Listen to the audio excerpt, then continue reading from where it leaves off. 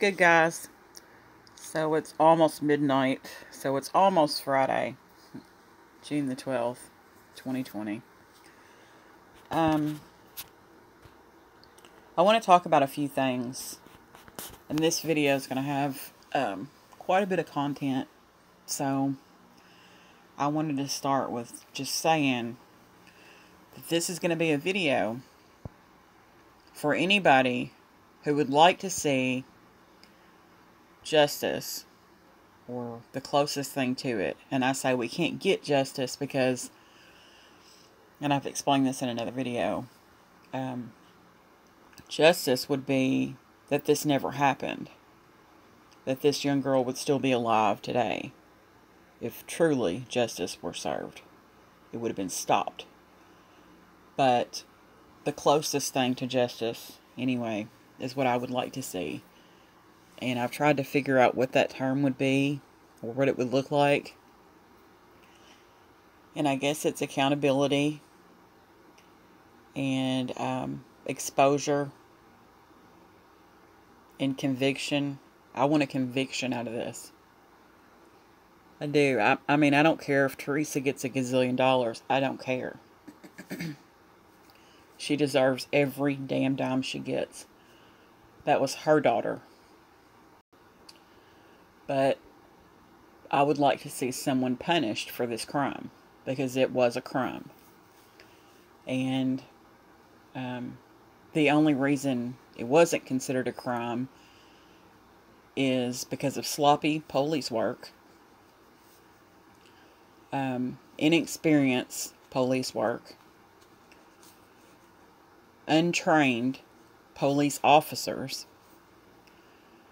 and the fact that they thought that this young black girl wasn't going to matter to anybody. And all of those things are why this case is where it's at today. So, with that being said, this video is for anyone who wants to see justice or the closest thing to it in the Kenneka Jenkins case.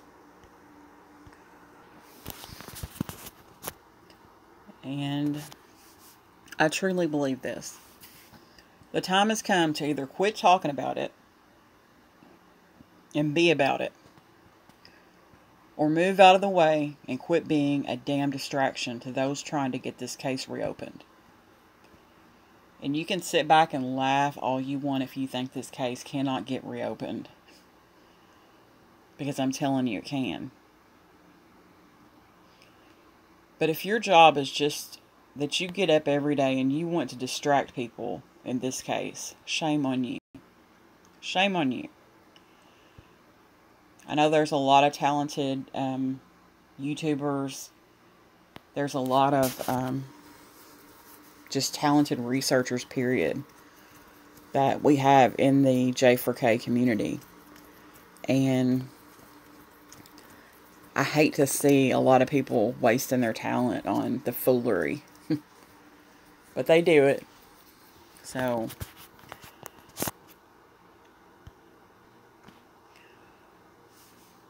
let's first address the things that will help to get this case shuffled into the right direction or the right hands.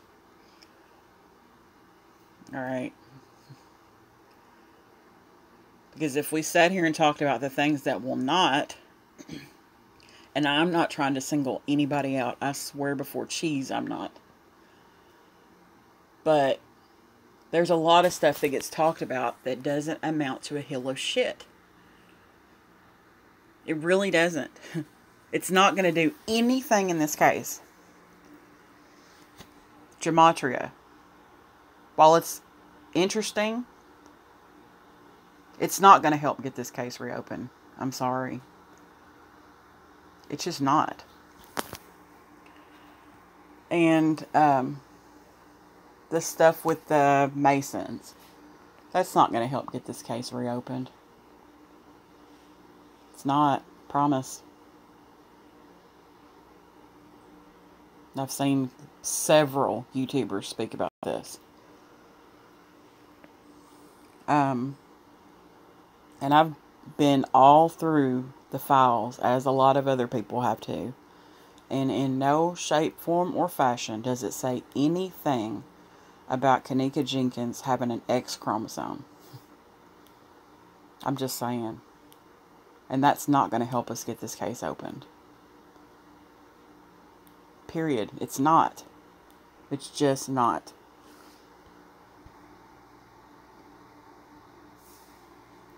The um the Selena Gomez situation with Bill Murray. I've heard that until I could literally just throw up. and not one person, when I've asked them to send me some kind of proof on that, not one single person has done it. And I mean proof. Because if somebody is dating somebody, especially a celebrity, we know about it. And somebody told me yesterday, oh, I'll send you an email. I found it, but I think it was taken down. Come on, man. Come on. Come on. Those are, while those are all things that are interesting, I want this case reopened. And that's what I'm about. I'm not about the foolery and all the stuff that goes on around it. I want the case reopened. And those are things that, while somebody else might entertain them, I just can't because it's not taking me anywhere. And I want the case reopened. I don't want to sit here and do this forever. I want to see something happen in this case. Teresa's got her court date on Tuesday if they don't postpone it again. It was postponed from April to this Tuesday coming up because of COVID. So I'm hoping that the courts are not backlogged and have to get shuffled again. I'm hoping that she gets to go to court Tuesday. And I'm not knocking anybody for what they do, so please don't take that the wrong way. I'm not. I'm really not, because I know a lot of work goes into the stuff that people do, but I just want the case reopened. Period. Period. That's it. And that's all. Like Irene says, that's it and that's all. So, this is what's going to get the case opened evidence. Not rumors, not gossip, not the fact that um, Selena Gomez may be dating Bill Murray, and none of that matters. I wish you could see somebody's face when you go to tell them, hey, I want to get this case reopened. Okay, well, what's going on with it? Well, Selena Gomez is dating Bill Murray, and she had a kidney, and, and you go off, man, they're going to laugh at you. Seriously, they are going to laugh at you.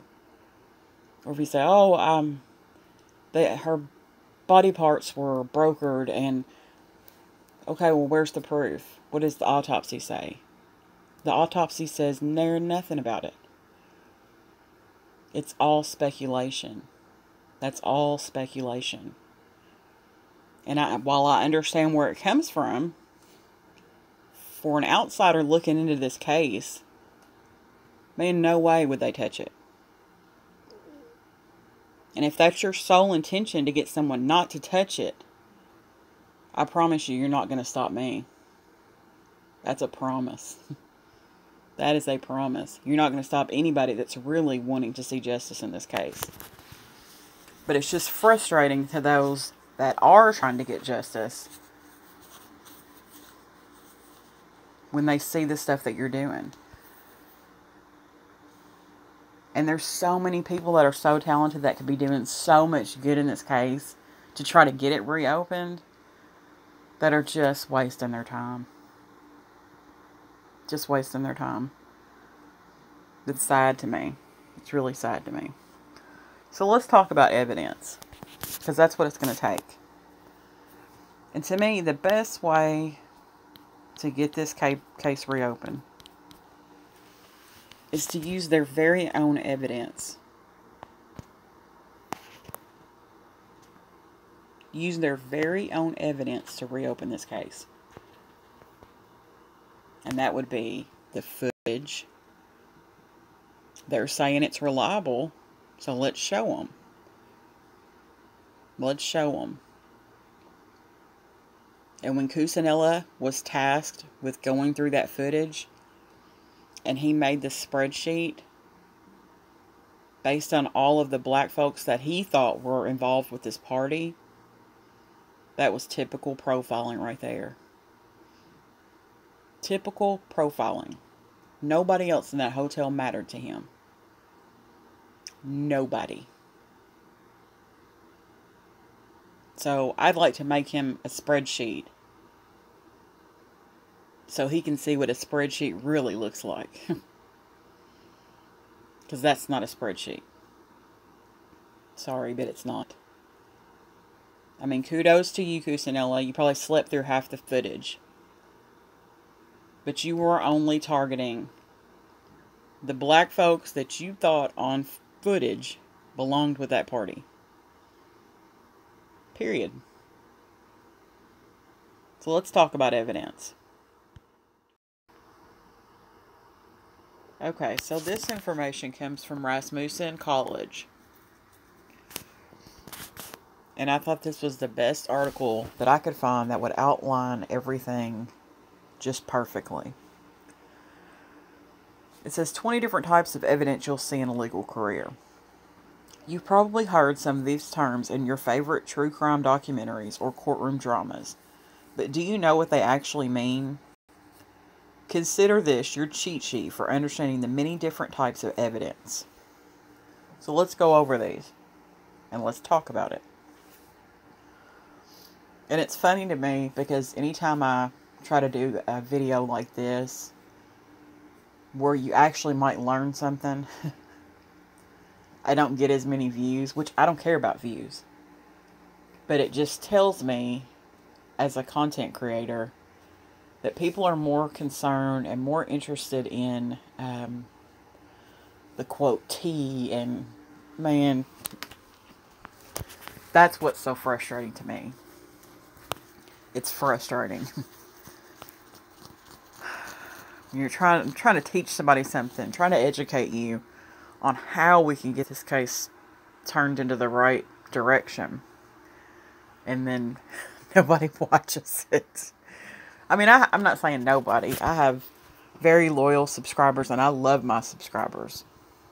But then I also have people that just come through um, that aren't subscribed at all. And they want to get in on, you know, the dirt of the case. But that's not what I'm not really on that vibe right now. I want to get this case reopened. And I'm going to give it my best shot anyways. Alright. So the first thing they list on here is direct evidence. Generally speaking, there are two primary types of evidence. Direct and circumstantial. Direct evidence, as its name implies, is evidence that directly links a defendant to the crime for which they're on trial without any need for inference or inference. A common example would be sworn testimony of an eyewitness. And let's look at what they uh, define direct evidence as here. This is from Cornell Law School. Evidence that directly links a person to a crime without the need of any inference. For example, they were seen committing the crime. Compare to circumstantial evidence. Circumstantial evidence says evidence that implies a person committed a crime. For example, the person was seen running away from the crime scene there must be a lot of circumstantial evidence accumulated to have real weight. And then it says compared to direct evidence. So, circumstantial is evidence that implies a person committed a crime. Direct evidence actually links them to the crime. All right. Number two, circumstantial evidence. Then it says on the other hand, Circumstantial evidence is evidence that implies a person committed a crime. For example, while direct evidence might include a witness directly seeing a defendant commit a crime, circumstantial evidence would be witnesses seeing a defendant fleeing a crime scene. In a circumstantial case, there must be a multitude of such evidence compiled to have any real impact. And that's a lot of what we have in this case circumstantial evidence. Although we do have direct evidence,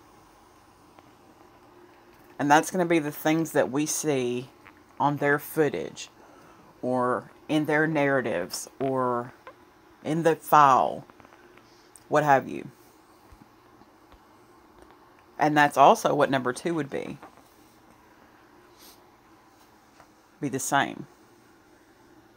Because there are things that you can see on the footage. And then there are things you can't. You have to use your imagination or connect the dots. And that's what the circumstantial evidence is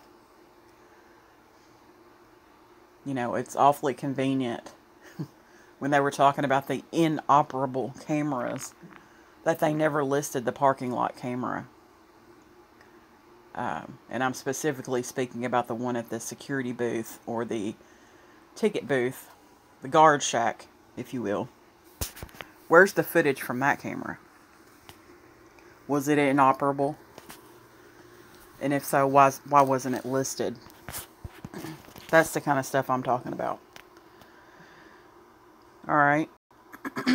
Number three, physical evidence. Also called real evidence. Physical evidence refers to any material object that may play a role in the matter that led to the litigation at hand. Most commonly, physical evidence will consist of objects found at the scene of a crime, whether it be a possible weapon, a shoe print, tire marks, or even minuscule fibers from a piece of fabric, perhaps an item of clothing worn by the perpetrator. Well, let's see what Cornell says about this. Well, this is coming from U.S. Legal. Physical evidence law and legal definition. Physical evidence usually involves objects found at the scene of a crime. Physical evidence may consist of all sorts of prints, such as fingerprints, footprints, handprints, tide marks, cut marks, tool marks, etc. Examination of some physical evidence is conducted by making impressions in plaster, taking images of marks, or lifting the fingerprints from objects encountered. These serve later as a comparison to identify, for example, a vehicle that was parked at the scene, a person who was present, a type of manufacturing method used to create a tool, or a method or technique used to break into a building or harm a victim. An examination of documents found at the scene or related to the crime is often an integral part of forensic analysis. Such examination such examination often helps to establish not only the author, but more importantly, identify any alterations that took place.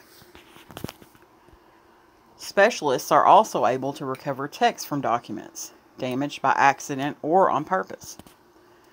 American Academy of Forensic Scientists, or AAFS, describes physical evidence as anything from small evidence that require a microscope to view or anything as large as a truck.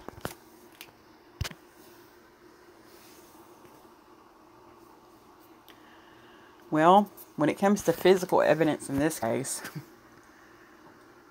now we've got a burden because the burden is we had a rookie um, evidence tech who, quote, I wrote it down here. he was, quote, to act as an evidence technician, end quote. That's how Terrence Rose described his duty in this case. He was to act as an evidence technician. And for those that have seen him on footage, he had not one clue what he was doing. Not one clue. They took him under his wing, under their wings, and just he kind of just followed, followed the leader, because he didn't have a clue. And that's not his fault. That's his supervisor's fault for throwing a rookie in there to do a job of this magnitude. And it's sad. It's really sad because it really botched this whole case up. They called the MCAT team in there to do the Faro scan. and what did they gain by doing that Faro scan? Anything?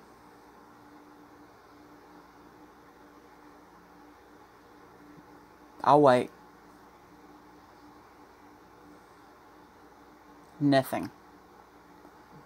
But they didn't call the MCAT team in there or any other forensic team to come in there and check anything. Because as far as they were concerned, and it's going to go right back to it again, this was a black girl found in a freezer in a predominantly white hotel. And in their eyes, white is right.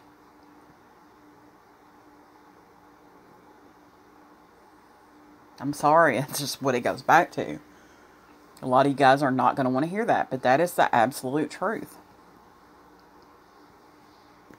They thought, oh, this poor little pitiful girl these hotel people could not be lying about this. They're telling me that nothing happened, and by gosh, I believe them. I think they had their minds made up the minute they walked in that hotel. They were already biased from jump.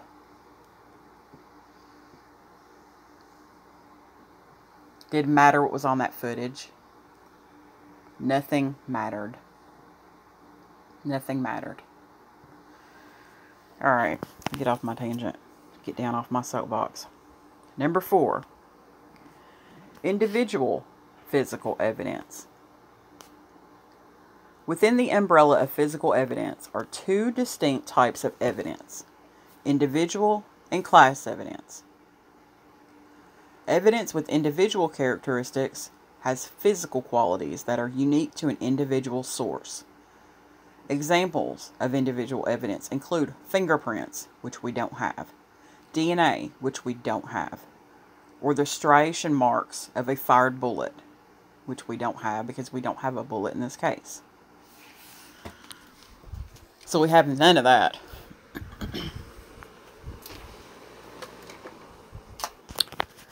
Let's see what they say here about individual and class evidence. This is coming from the U.S. Fish and Wildlife Service Forensics Laboratory for students and educators. Says the characteristics of physical evidence. What we're talking about here are two basic and very different descriptors class characteristics and individual characteristics. It's important to note that all physical objects possess both class and individual characteristics. And it's very important that the two are not confused or not be confused. Class characteristics are physical qualities shared by a group of, quote, like items, such as a collection of miscellaneous hammers, the chemical structure of heroin molecules, the tread patterns of a brand new athletic shoe. Oh, the tread patterns on a brand of new athletic shoes. My bad. The species source of a blood sample. The ABO typing of a blood sample. For example, AB negative. We don't have any of that. The weight and dimensions of a new unfired cartridge the make and model of a firearm. And then it has this image of these collection of hammers that are all different. They all have different heads on them, different handles, etc.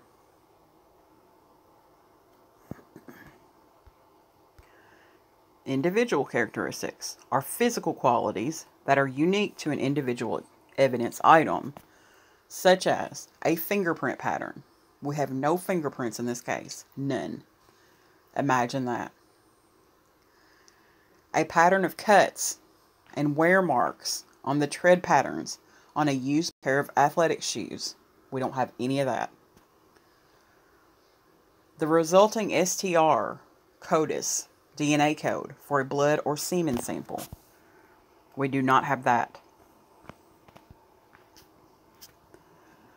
The striation marks on a fired bullet. We don't have a bullet in this case. The pattern of ejector, extractor, breech, and firing pin marks on a fired cartridge. And we don't have that either. And they show a fingerprint. And it says a fingerprint pattern illustrates, quote, individual characteristics. And we will never know what fingerprints were on that freezer or anywhere in that kitchen. They are long gone. Doesn't it make you just a little sick at your stomach? To think of what kind of evidence we could have had in this case. Could have had, I say. Alright. The next thing on the list is class physical evidence. We already did that, didn't we? Yeah. Forensic evidence is the next thing.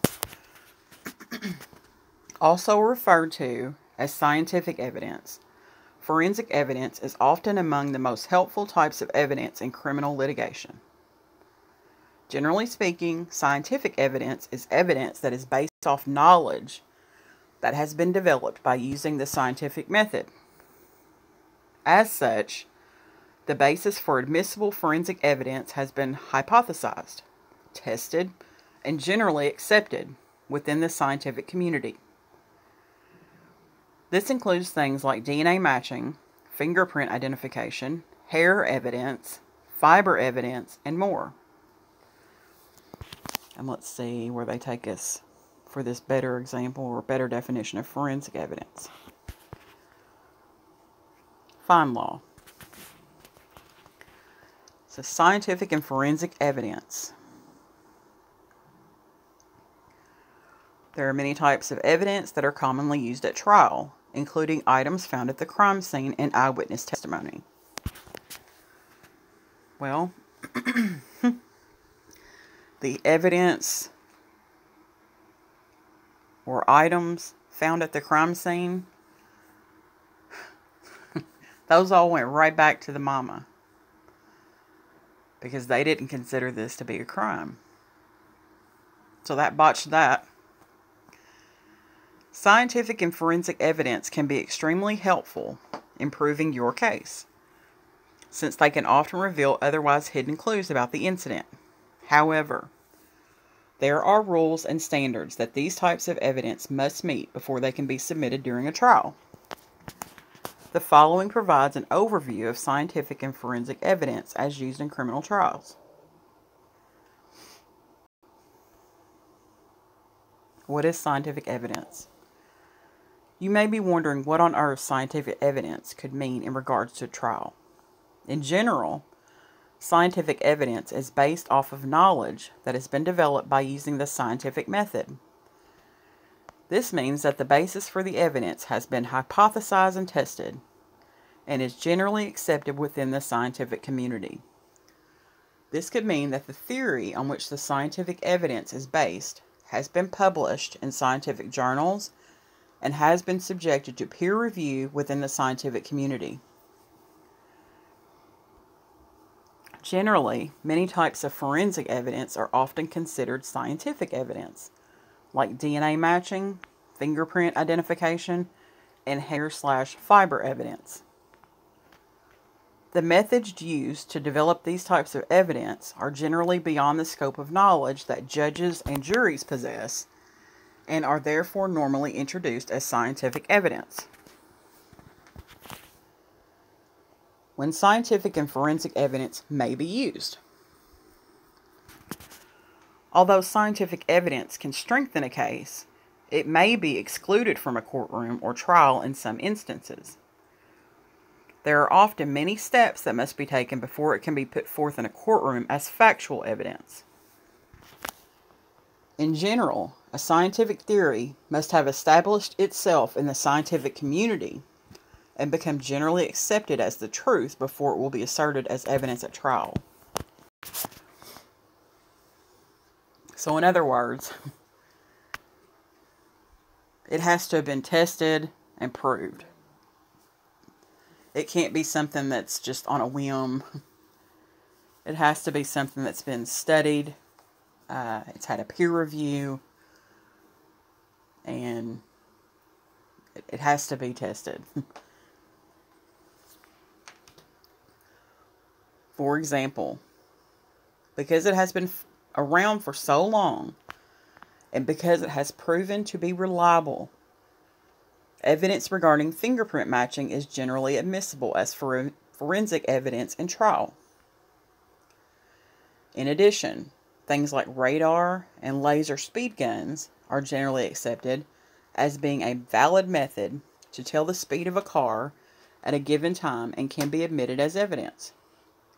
But keep in mind that there will often be new types of scientific evidence that parties will attempt to submit at trial, science that may not have a solid foundation within the scientific community.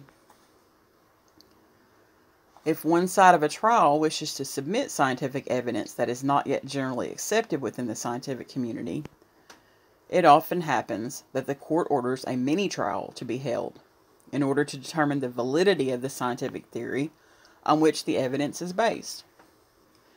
As an example, DNA evidence had to go through many, many trials before it became generally accepted as evident, valid evidence at trial. If you remember the O.J. Simpson trial, that should have took you right back there.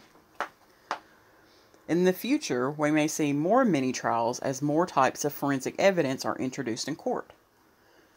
As another example, Many scientists are currently working on using functional magnetic resonance imaging, or fMRI, as a new type of lie detection machine.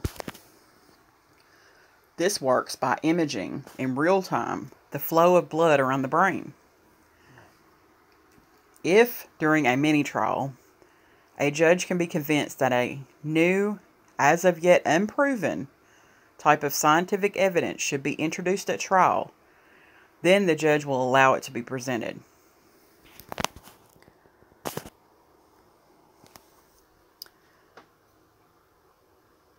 It goes on to say a criminal defense attorney can help scrutinize the evidence against you.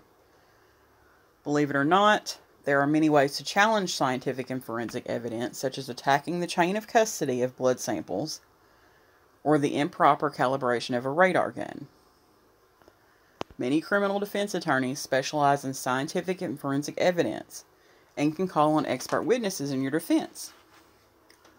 See what options are available to you by contacting a local defense attorney today. So, in other words, your criminal defense attorney, if it's you on trial, can come in and say, oh, well, when they drew so and so's blood, um, they didn't use this method and therefore the blood sample could be tainted or um, they didn't get enough blood. Or they didn't store the blood correctly. Or they could come up with a multitude of things. And that would be attacking the chain of custody. Or improper calibration of a radar gun. Um, you could say well I drive a 2019, whatever, and you could have an expert to say, uh, you couldn't get from point A to point B at that speed, and therefore the radar gun must not be calibrated. That would be a good example of um, improper calibration of a radar gun. In other words, to say that the car physically couldn't do that. Alright.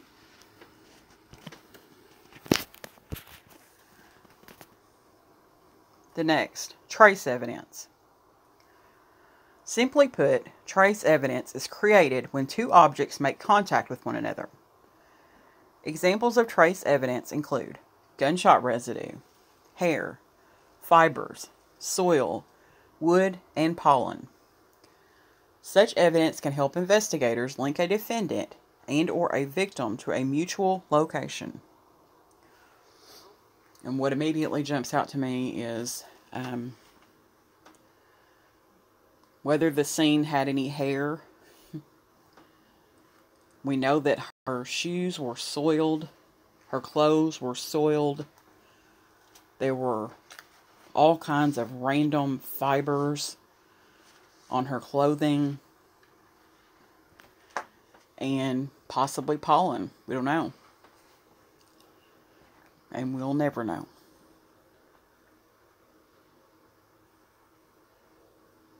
This took us to the National Institute of Justice for an overview of trace evidence. It says June 21st, 2016. Impression Pattern and Trace Evidence Symposium. Fibers, hair, soil, wood, gunshot residue, and pollen are only a few examples of trace evidence that may be transferred between people, objects, or the environment during a crime. Investigators can potentially link a suspect and a victim to a mutual location through trace evidence. For example, a fiber sample obtained from a suspect's person can be identified through scientific analysis as originating from a garment worn by the victim.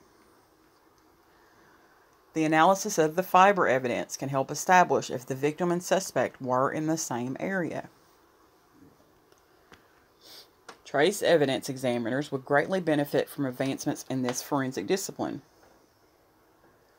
To increase the value of trace evidence, the National Institute of Justice seeks to fund research to improve and enhance the ability of the forensic science community to identify, analyze, and interpret evidence.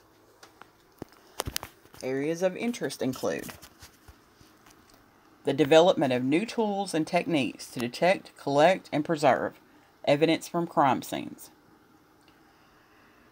Instruments that decrease the time and labor needed for trace evidence analysis, and new approaches and enhancement of current approaches to interpreting trace evidence data. All right. So we possibly had um, quite a large amount of trace evidence in this case. Number eight, testimonial evidence. Most of what we see in a typical courtroom drama on TV is testimonial evidence. This is when a witness is called to the stand to speak before a judge and jury under oath. Testimony witnesses can be used for both the prosecution and the defense in a trial. When prosecution witnesses are questioned by prosecutors, it is called direct examination. When they're later questioned by defense attorneys, it's called cross examination. The same is true for defense witnesses when the roles are reversed. So when the defense calls their witness, then the prosecution can cross examine them, in other words.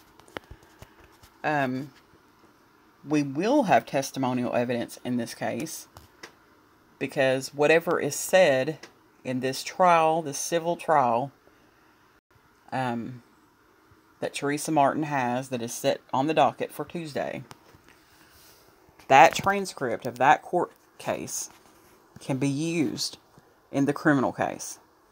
I've seen it done a million times.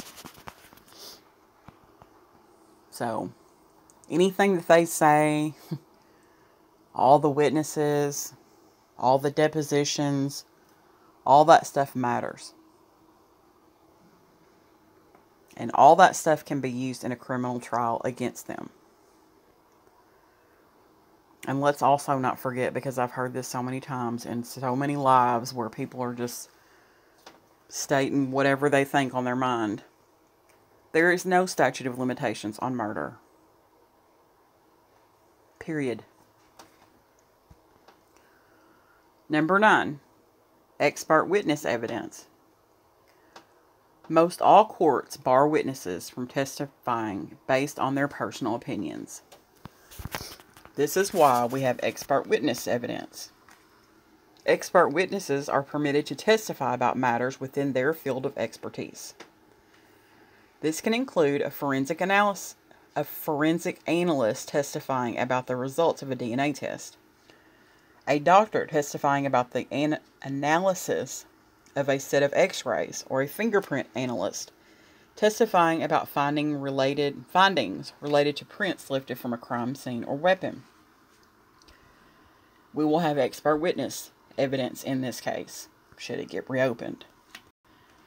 Because I'm sure that um, Tereasa Martin's attorneys have hired expert witnesses regarding the civil case, and their testimony can be used to open a criminal case. And that may be her plan all, that may have been her plan all from the beginning. To get them in civil court to say what needs to be said and then turn around and jam them up in a criminal case. We don't know. And honestly, she didn't have to tell us. she didn't have to tell us anything. And like I've said before, she doesn't need to be talking to us.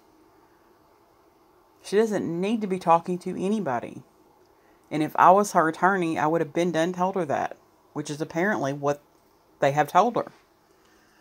So the fact that she's not saying anything and not, quote, helping us or this and that and this and that, she's not supposed to.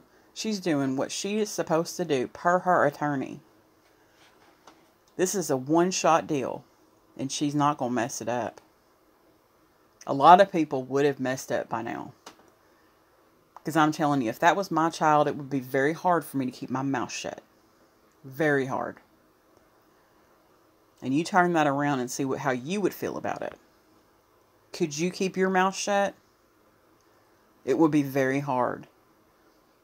But if the end goal is that somebody's going to pay for this, yes, I would be able to do it.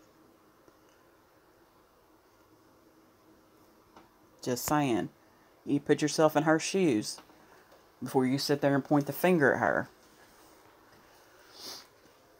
You know, I've always considered everybody a suspect in this case, but I also can look at it from because I have the legal background.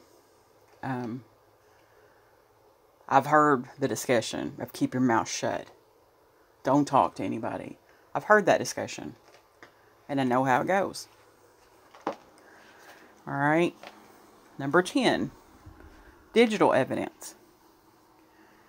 In our technological connected world, digital evidence has become critically important as computer data can leave a trail to a multitude of crimes. Digital evidence in- includes all or any relevant information that is stored or transmitted in binary form.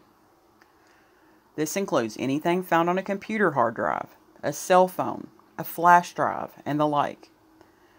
Previously used solely in the prosecution of e crimes, digital evidence is now used in a wide range of crime prosecution, drawing upon things like email communication, text messages, and cell phone location. And I just um, touched on this yesterday in a video. Let's see where they take us with this digital evidence. Back to the National Institute of Justice. Digital evidence and forensics. Computers are used for committing crimes, and, thanks to the burgeoning science of digital evidence forensics, law enforcement now uses computers to fight crime. Digital evidence is information stored or transmitted in binary form that may be relied on in court. It can be found on a computer hard drive, a mobile phone, among other places. Digital evidence is commonly associated with electronic crime, or e crime, such as child pornography or credit card fraud. However, digital evidence is now used to prosecute all types of crimes, not just e crime. For example, suspects' email or mobile phone files might contain critical evidence regarding their intent, their whereabouts at the time of a crime, and their relationship with other suspects. In 2005, for example, a floppy disk led investigator led investigators to the BTK serial mm-hmm. killer who had eluded police capture since 1974 and claimed the lives of at least 10 victims.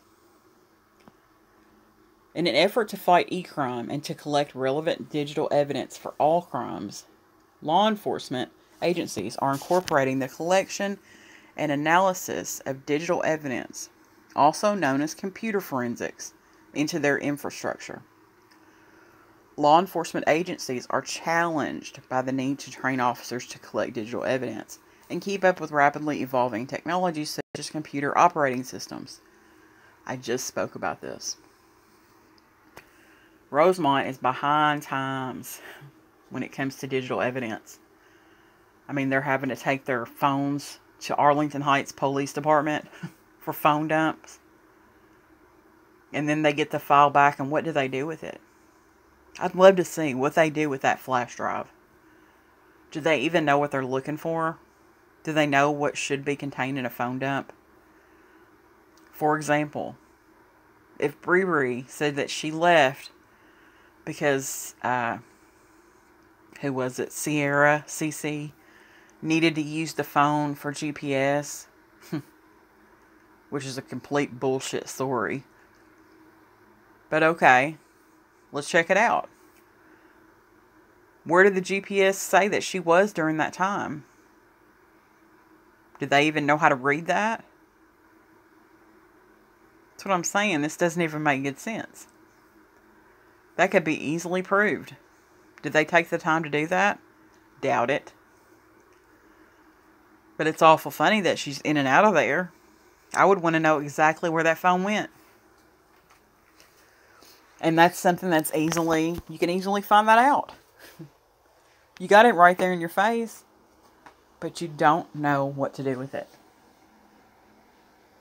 And that's sad because they're going to fall behind further and further and further they're outsourcing their digital stuff to other area police departments. They're not taking it to the big place like Chicago or places like that. They have to take it to little piddly places to get some little uh, detective who's taken a course or two to actually help them. That's sad. That's so sad. All right. Number 11. Documentary evidence. Aptly named documentary evidence refers to any relevant evidence contained in or on documents. This might include a signed contract, a deed, or a will. To be admitted in a court case, all documentary evidence must be proven to be authentic. And I would just take their file, their redacted narratives, there's so much documentary evidence in there in this case. Just just for example, going back to this credit card fraud case. What is really going on here? the charges don't add up with the bank. The document that they have from the bank has misspellings all over it. And conveniently, as I'm going through the file last night, I see where uh, one of the people that was interviewed in the case worked at a call center, which is where a document came from. How convenient is that? So come on with the jokes, and I am going to do a video on that. Come on with the jokes, man. and he claims he wasn't even at the Crowne Plaza that night. He says that he just feels like people were trying to set him up. Whether he was or wasn't, the fact that he worked at a Bank of America call center is very convenient in this case. very convenient. Because that's where the document that I'm questioning came from. And the gentleman that it came from, supposedly, is a farmer outside of Minneapolis, Minnesota. with no social media. Doesn't make sense. Number 12, demonstrative evidence. The umbrella of demonstrative evidence, let me say it right, demonstrative evidence, can include many different elements. Any objects, pictures, models, or other devices used in a trial to demonstrate or explain facts are considered demonstrative evidence. Um, I don't know that we have any. Um, yeah, we probably do have some models. Um,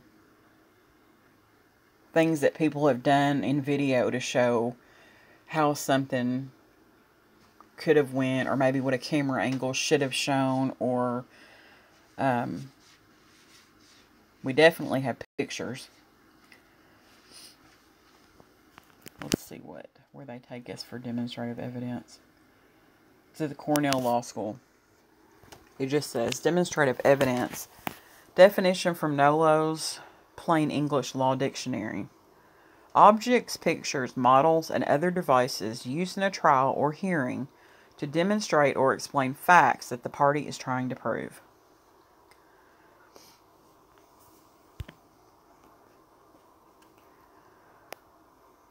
Number 13. Character evidence. Evidence used to demonstrate the moral standing of a person based on their reputation in their respective community is considered character evidence. A character witness, for example, is a person who testifies in court on behalf of another to speak to their positive or negative character traits.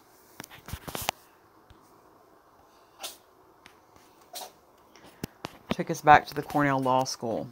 Character evidence. Evidence regarding the moral standing of a person in a particular community based on the in a particular community based on the reputation of that person. So it's all about reputation. That's where um, a lot of the stuff that people do, like Monifah, um, she was higher than groceries in that video going to KJ's, uh, Kenneka's web, um, cemetery, the cemetery. She could barely even keep her head up. Little stuff like that adds up little things like that, you would be surprised what those little things can do. That's all I'll say about that. I won't go off on a tangent with that. 14. Habit evidence. Because this is where it's going to get come in right here. While propensity evidence, or evidence that a person engaged in bad behavior in the past, is generally not admissible in court cases, habit evidence is admissible as an exception to this rule. Habit evidence refers to evidence of a repetitive response by a person to particular circumstances. It is used in court cases for the purpose of proving how that person would likely act in a similar situation. Cornell Law School defines habit evidence as under the federal rules of evidence, habit evidence is defined as evidence of a repetitive response by a person to particular circumstances, characterized by particularity and frequency. Although the general rule is that propensity evidence is not admissible to prove conduct on a particular occasion, habit evidence is admissible as an exception to the general rule for the purpose of proving how someone would act or react in a particular situation at issue. So let's just say we'll do something really small. Let's just say that um, every time somebody does something, I don't know, you can insert whatever you want there, they sweat profusely and um, chew on their fingernails and you have that person, just something small like that. I mean, it can be really big stuff, but I would just use an example of something really small to kind of get you to understand what I'm trying to say. That's a habit. The chewing of the fingernails and the sweating. Or um, when a person leaves somewhere and they always go that same route. That's a habit. And if that day they didn't go that particular route, that would be out of the ordinary. So, number 15, hearsay evidence. It's true that the rules regarding hearsay evidence differ by jurisdiction, but it is most commonly ruled to be inadmissible at trial. This is because hearsay evidence refers to an out of court statement made by a relevant party in relation to an issue being discussed at trial. This is generally deemed inadmissible because of the inability of the other party to cross examine the person who made the statement in question. So, in other words, if you heard somebody say something and they're not in a courtroom setting, that's fine. But the reason it can't be admissible is because the criminal attorney, number one, wasn't there to hear it, and number two, can't ask questions about what they said and why they said it and what they meant when they said it. So that's why it's not, they don't allow that. Because somebody could say something and mean something totally different than what the person heard. And there's nobody there to ask that question on the other side. So, let's see where they take us for this. Back to Cornell. Hearsay. Definition. Hearsay is an out-of-court statement offered to prove the truth of whatever it asserts. Overview. Hearsay evidence is often inadmissible at trial. However, many exclusions and exceptions exist. For something to be hearsay, it does not matter whether the statement was oral or written. Generally speaking, hearsay cannot be used as evidence at trial. Federal Rules of Evidence, or FRE. For federal trials, the rules for hearsay are contained within Article 8 of the Federal Rules of Evidence, Rules 801 to 807. Rule 801C of the FRE defines hearsay. Rule 802 prohibits the admissibility of hearsay.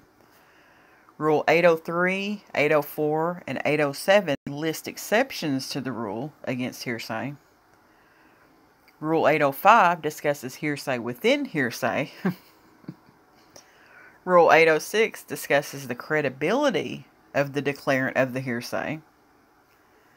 Although hearsay rules differ by jurisdiction, many state hearsay rules are modeled on the federal rules of evidence. And then it says you can go, if you want more information on it, you can go to the University of Berkeley Law Review article. And it's got a link there. But that's interesting because Rule 805 discusses hearsay within hearsay. that would be like if I thought I heard you say something.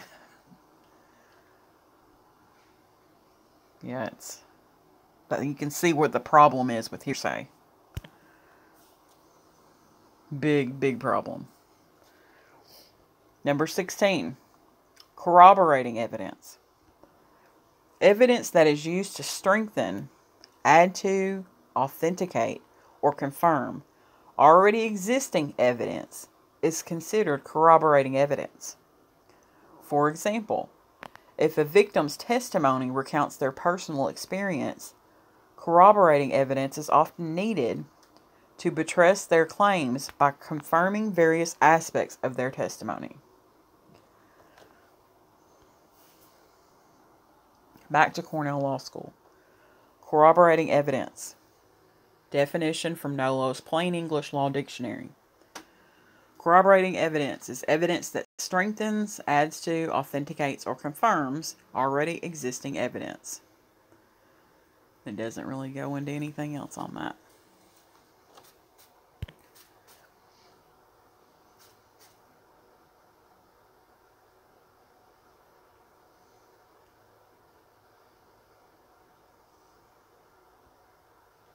Exculpatory evidence, number 17. During trial proceedings, defense teams will often present evidence that serves to either justify, excuse, or introduce reasonable doubt about the defendant's alleged actions or intentions. This is called exculpatory, exculpatory evidence, and it is most commonly used to demonstrate that a defendant is not guilty. When prosecutors willfully withhold potentially exculpatory evidence, this is considered a violation of the Brady Rule. So they have to disclose everything that they're going to introduce to the other side. They can't just show up with a big surprise. This takes us back to Cornell Law School. Exculpatory. A description of evidence in a criminal trial that serves to justify, excuse, or introduce a reasonable doubt about the defendant's alleged actions or intentions. Exculpatory evidence may ultimately show that the defendant is not guilty. No wonder police and prosecutors must, to uphold the defendant's constitutional right to due process, tell the defense about any exculpatory evidence they've discovered. So they can't just hold it and have this big drum roll surprise in front of the judge. That's not going to work. That's really going to make you look bad. Because the other side has to be able to uh, cross-examine and may want to produce a witness regarding this exculpatory evidence. So that doesn't give them the opportunity to do that. Number 18 admissible evidence. Amidst the, the many different types of evidence, there are two primary categories that will greatly impact the outcome of a court case admissible and inadmissible evidence. Generally speaking, all evidence that is able to be formally presented in front of a judge or jury has been deemed admissible evidence. Prior to the trial, it is the duty of the judge to determine whether or not particular evidence may be included.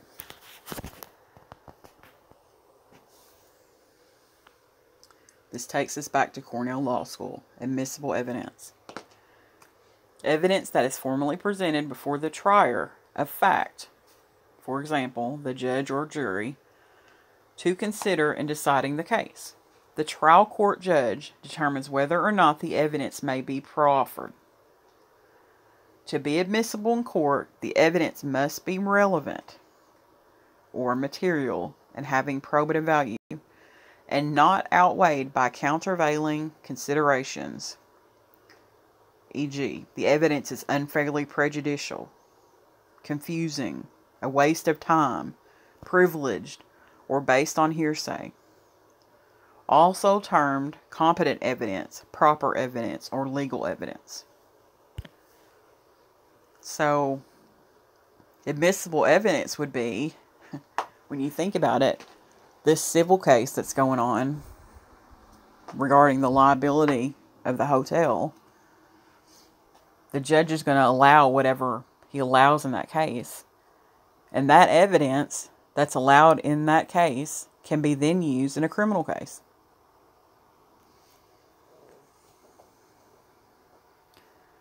Number 19. Inadmissible evidence.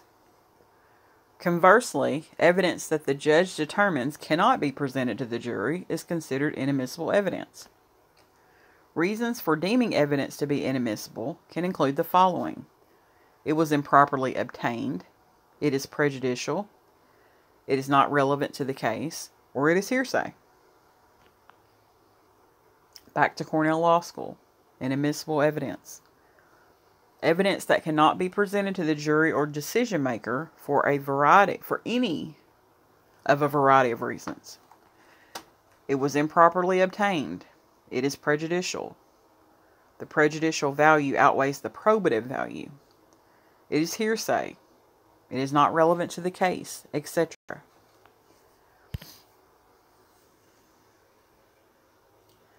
And number 20, insufficient evidence. In court cases, it is the obligation of the prosecutorial team to meet the burden of proof, or the responsibility to prove their allegations beyond a reasonable doubt.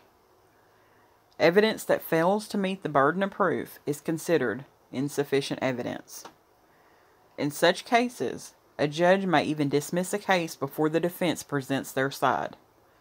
And in moments like that, it's sickening. And it's so sad. So sad. Back to Cornell Law School. Insufficient evidence. Evidence which fails to meet the burden of proof. In a trial, if the prosecution finishes presenting their case and the judge finds they have not met their burden of proof, the judge may dismiss the case even before the defense presents their side for insufficient evidence. Insufficient evidence may even be grounds for appeal.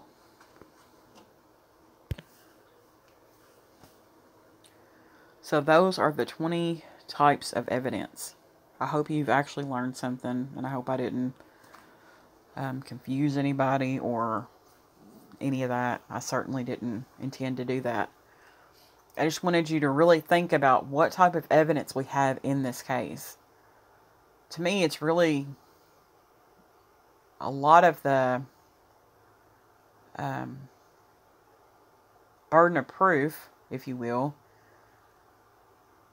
a lot of things can be found in the civil um, caseload or depositions or um, written statements, whatever, whatever they have in that case.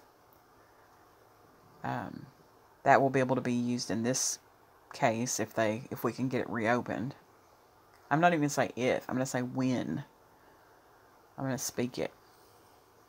And um, just have to make the best out of a bad situation, honestly. And that's why I think it's important if you see something, say something. If you have a platform and you see something on footage that don't quite sit right with you, say something. Say something. Do something about it. Or let somebody else know so they can do something about it.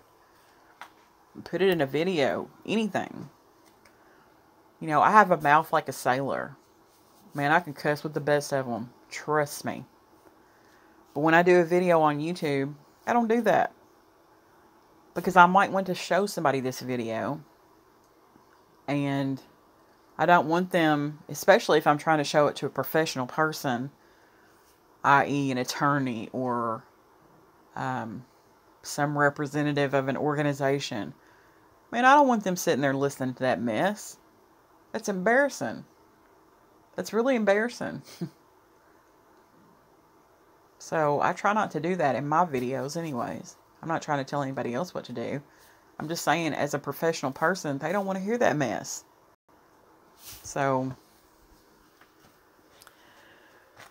alright, I'm going to end this video on that note.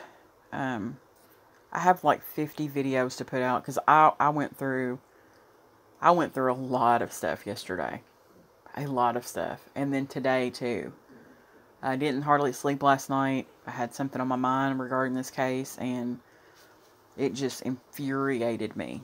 It lit a fire under me like you just wouldn't even believe. So, I hope everybody got something, anything, out of this video. Learned something. Because all I intended to do was educate on evidence and what we have and get your mind to clicking on thinking about what we have in this case and what is really going to help this case. It's not going to be that extra crap that you want to, uh, the tea, so to speak. It's not that stuff. It's not that stuff. It's the footage. It's the bile. We have to use that against them. So on that note, I hope everybody has a good, I guess, morning because it's already 1:11 my time a.m. So I'm gonna try to at least try to get this uploading before I go back to or go to bed rather. So I hope everybody has a great morning and um, I'll have some more stuff for you guys tomorrow. I appreciate everybody for listening.